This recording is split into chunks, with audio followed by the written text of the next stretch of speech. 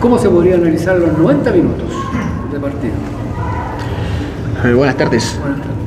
Un partido trabado, un partido que, que sabíamos lo que iba a proponer el rival, que Arica, un rival súper digno, súper respetable, que, que, impuso su juego tanto de visita en, en, esta ocasión como de local cuando nos, nos tocó enfrentar hace un par de semanas atrás. Eh, se nos complicó un poco porque nos cerraron los espacios el segundo tiempo, eh, no salieron a presionar como lo hacían habitualmente. Eh, después pusieron hombre en ataque con características rápidas como Monroy y Azócar.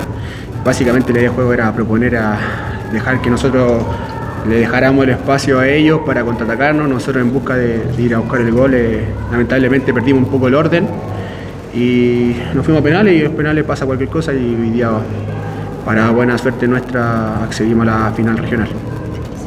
Profesor Cutá, eh, felicitaciones por la clasificación. Eh, lo consultamos con los jugadores y lo dijeron ellos mismos. No están acostumbrados a jugar en este horario, quizás eso también fue factor para, para no ver al Cobreloa que lleva en Antofagasta, que fue un Cobreloa que presionó, que, que, abrió mucho la cancha, que corrió mucho. ¿Habrá sido el factor del horario lo que dio permitir ya ver el, juego de Cobreloa? No hay justificación el horario. El, horario es para los dos. Eh, más allá que si juguemos a las 3 y media, a las 8, yo creo que pasa por un tema de rendimiento. Y nosotros lo creemos así. Igual de, una u otra forma tratamos de, ambientarnos la semana, entrenar un horario que, que fuera parecido a lo que se iba a enfrentar hoy día. El otro día entrenamos a, la, a las 11 de la, tarde, de, la mañana, casi terminamos a las 2 de la tarde para tratar de, imponer ese horario, pero yo creo que no hay justificación.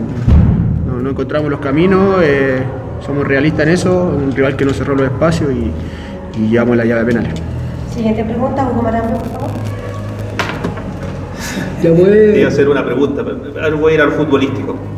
Lo de Renato González, ¿es, ¿es probable lo de Renato González que llegue a Cobreloa? Ya le preguntamos el otro día de Pablo Garcés. ¿Qué pasa con ese tema, digo? Por ningún motivo, no, no es un nombre que se nos ha acercado.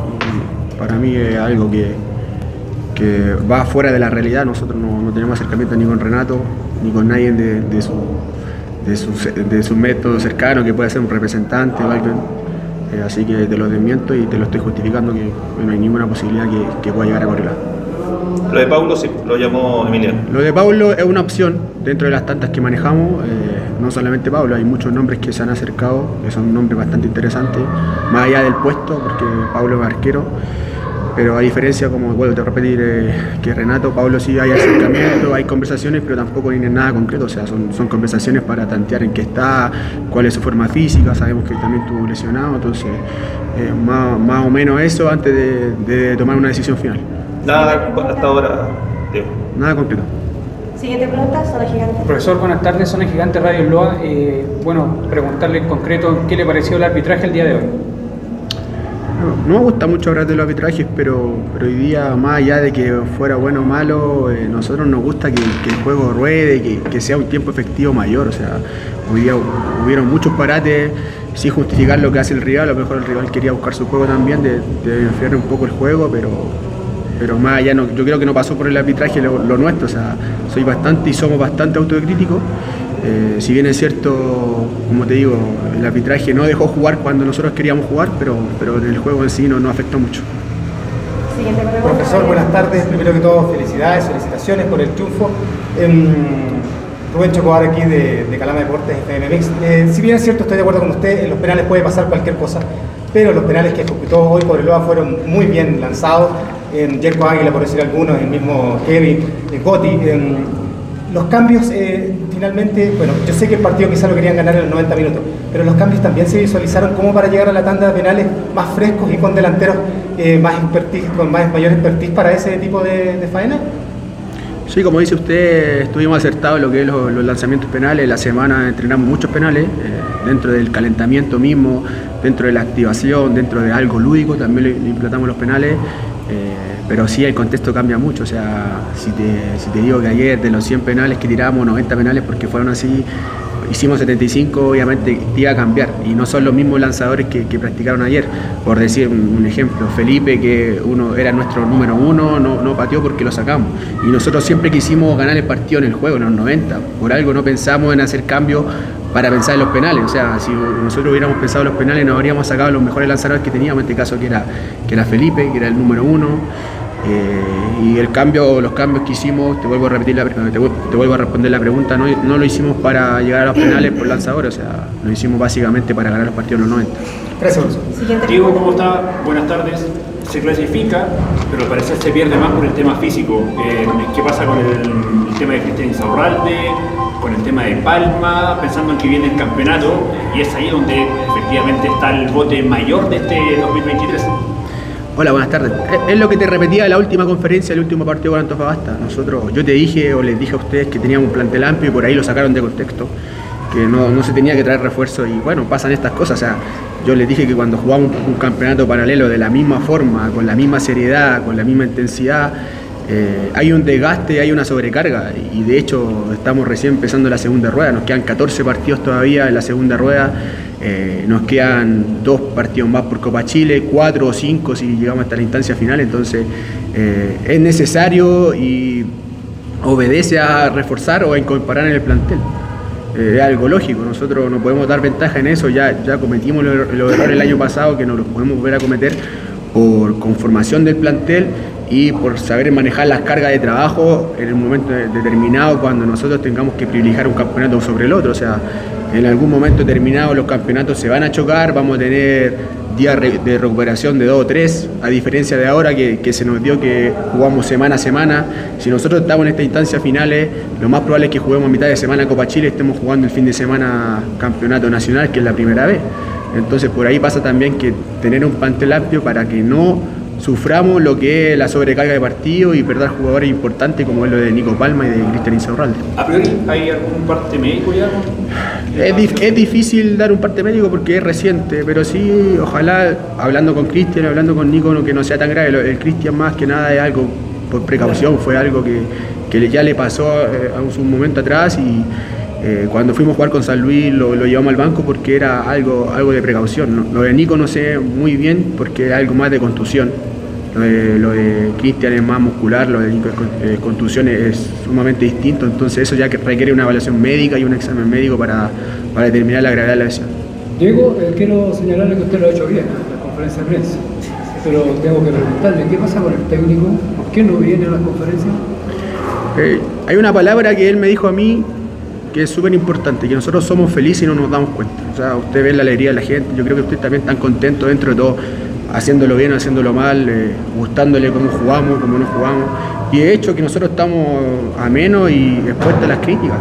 Pero a veces han sido cosas muy injustas eh, que nosotros creemos que lamentablemente hay críticas que se pasan más allá de lo, de lo común y lamentablemente él está dolido porque él también es una persona sumamente respetuosa, nosotros respetamos mucho su trabajo, eh, yo personalmente lo respeto a todos ustedes porque siempre los veo, o sea, por decir Hugo, por dar un ejemplo, lo veo siempre con un esfuerzo tremendo en pretemporada, cuando nos toca jugar de visita. Y hay personas que a lo mejor no, no se dan cuenta o no están en esa forma y critican sin saber. O sea, cuando me gusta que nos critiquen, es con base, o sea, vayan a los, entrenamientos, vayan a las conferencias de prensa, vayan cuando, cuando nos toca entrenar o cuando les damos declaraciones en la semana y ahí se hacen una idea de lo que hacemos. O sea, a veces nosotros se nos critica porque no analizamos el rival y nosotros somos los que más analizamos el rival, se nos critica porque jugamos o no tenemos una idea de juego y, de hecho nosotros proponemos una idea de juego que a lo mejor puede gustar o no puede gustar, pero, pero la proponemos. O sea, la idea de juego a veces pasa por atacar o por defender y en, el defender somos uno de las vallas menos batidas y en el atacar somos un equipo súper equilibrado. Entonces,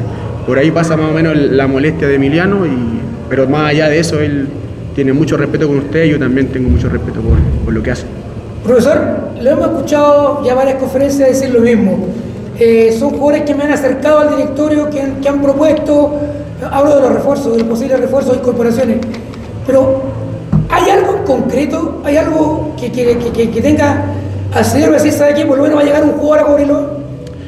Mira, lo que pasa es que ha sido sumamente difícil para nosotros, como nunca el, mercado pasa. Eh, a diferencia de otro año, nosotros no podemos o, no tenemos la, misión de incorporar tantos jugadores de primera. ¿Por qué? Porque los de primera pueden cambiar en la misma edición. Entonces, eh, básicamente un jugador que no está jugando en primera eh, baja a otro equipo de la misma categoría. Yo te pongo un ejemplo. Hicimos una oferta a formar por Franco Lobos, estuvo 90% listo y llega a Copiapó y se lo lleva porque él quiere jugar en primera, más allá que si el equipo está peleando arriba, no está peleando arriba, pero se queda en primera, entonces eso a nosotros nos limita mucho y también la parte económica, que, también nosotros no queremos errarle, eh, nosotros no somos un, un, cuerpo técnico que le erra mucho a los jugadores cuando los queremos traer. Nosotros hacemos un proceso de scouting para cuando conformamos los planteles al principio de año o cuando queremos incorporar a mitad de año. Entonces, en ese sentido, eh, hemos tratado de tomarnos con seriedad y con mucha calma en conjunto con la dirigencia el tema de los refuerzos. Sí, hay muchos nombres, nosotros tenemos...